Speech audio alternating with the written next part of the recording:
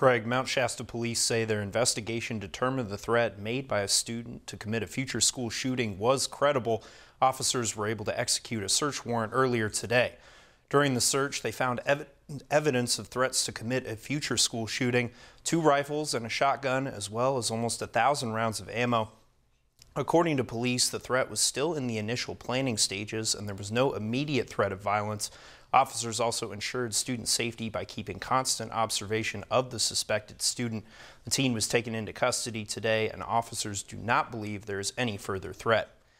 Mount Shasta High School released a statement today that reads in part, quote, we understand that incidents like this are concerning for parents, students, and the greater community. We want to assure you that we are doing everything we can to address the situation and keep our school safe, end quote.